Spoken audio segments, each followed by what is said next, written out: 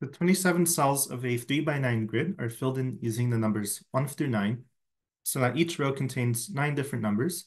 Each of the three 3 by 3 blocks heavily outlined in the example contains 9 different numbers, as in the first three rows of a Sudoku puzzle. In this problem, we're looking for the number of ways to fill in the grid. The answer form is given below. So there are a couple of observations that can simplify our computation a bit. The first is that we can actually assume, without loss of generality, that the first row is 1 through 9 in that order.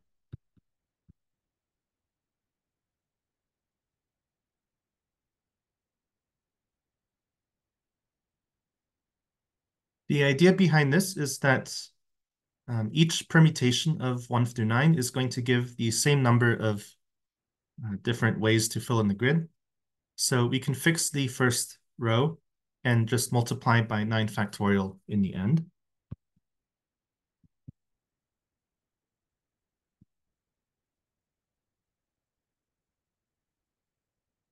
The other observation that we can make is that once we fix the first row, and in fact, we don't even need to fix the first row for this observation, but the second observation is that the three numbers in each block's row, we don't really care too much about the ordering of those three numbers. So for example, since 379 forms a valid way with the rest of the grid, if I permute 379, such as 937, this will also give a valid way. So this means that for each of the six remaining blocks,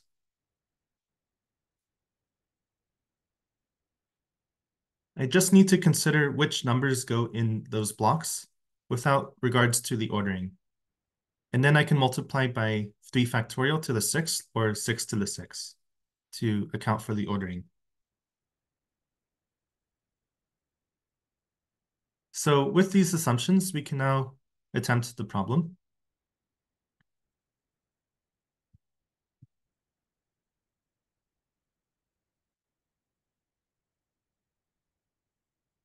So in this picture here, um, I drew a 3 by 9 grid and labeled the rows 1 through 3, the boxes A through C. So I'm going to do a little bit of casework because we don't know what row 2 can have. The only thing we know that row 2 must obey is that the three numbers in box A, they cannot be 1, 2, 3. They have to be three of the numbers from 4 to 9. And similarly, the three numbers that are in the second box, uh, box B, they cannot be 4, 5, 6. And the third box cannot have the number 7, 8, 9. So we're going to do a little bit of casework.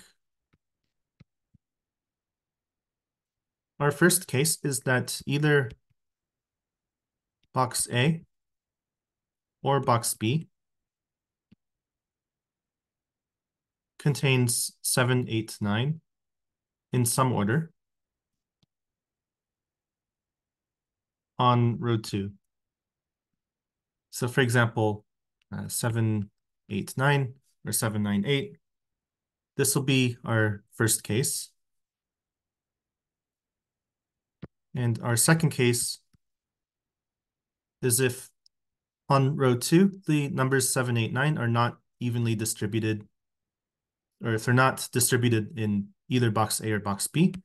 Let's say box A contained two of them and box B contained one of 789 or vice versa. So Case two is going to be that on row two, um, one of box A or box B contains uh, two of the numbers 7, 8, 9. And the other box A or B contains one of them. So these are going to be our two main cases that we're going to consider. Now we're going to start with case one, where one of box A or box B contains 789 in some order on row two. Now this is actually the simplest case.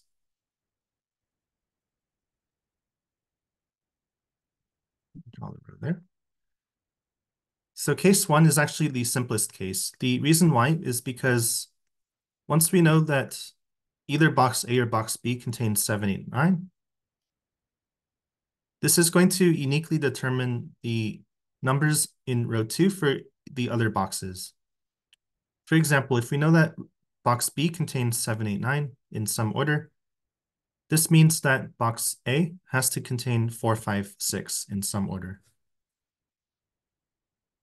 And then similarly, box C will contain 123. So this means that once we choose a box A or B to put 789, this is going to uniquely determine the number of ways we can uh, place the numbers in row 2 without regards to ordering. And so the number of ways to accomplish case 1 is simply 2, just 2.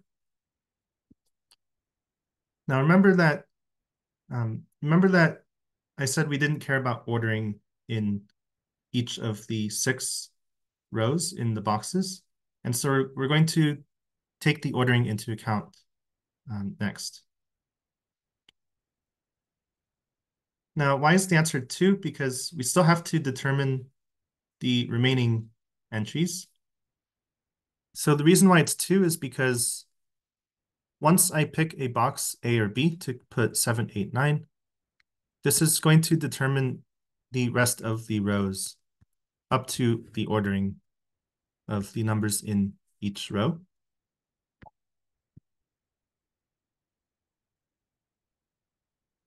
So this gives two possible ways up to the ordering of the three numbers in each row, in each box.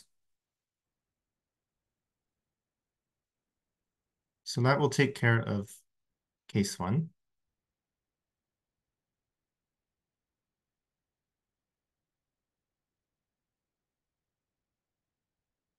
Now, case two is a bit trickier.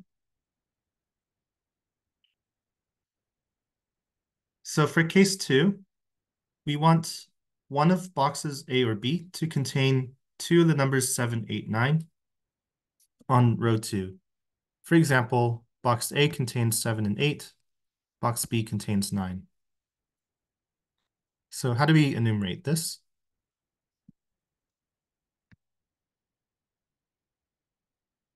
So the idea here is we're just going to figure out what needs to be decided in order to count the number of ways. So for example, we need to choose which of the numbers 7, 8, or 9 gets to be the odd number out. In this example, the number 9 is the odd number out because only the number 9 appears in box B.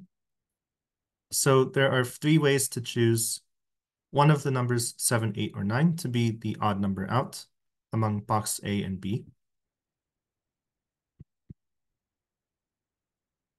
We also need to multiply by 2 because there are two ways or two boxes that we can place this odd number in. We can either place 9 in box A or box B. Once we've done that, I need to select one number that goes with the 7 and the 8, or more generally, one number to go along with the two numbers that are that were chosen among 7, 8, 9, which I indicated with a question mark. Now, this question mark cannot be 1, 2, 3, cannot be 7, 8, 9. It has to be one of the numbers 4, 5, and 6. There are three ways to do that. Just for example, let's say that I chose 4.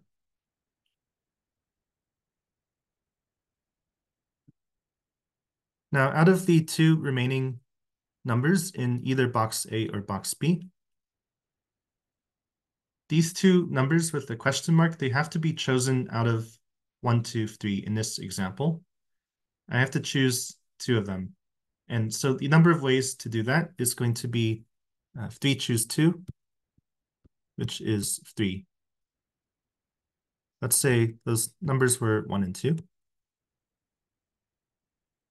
Now, it turns out once I've done this, um, these actions will uniquely determine the rest of the rows in each box. And so I'll leave it to you to check that. This means that the number of ways where case 2 applies is 3 times 2 times 3 times 3 choose 2 is 54. Now, again, this does not account for the ordering of the three box, the three squares in each uh, box in each row. So this means that the total number of ways, assuming the top row is 1 through 9, so the number of ways is going to be 56, which is 2 plus 54. And then now we need to multiply by 3 factorial to the 6th to account for the ordering and then multiply by 9 factorial to account for the first row numbers. And this is going to be the total number of ways uh, to fill in the numbers. The prime factorization of this number is 2 to the 16 times 3 to the 10 times 5 to the first times 7 squared and the problem asks for uh, PA plus QB plus RC plus SD. So once we extract the answer, we're going to get 2 times 16 plus 3 times 10 plus 5 times 1 plus 7 times 2. This is equal to 81.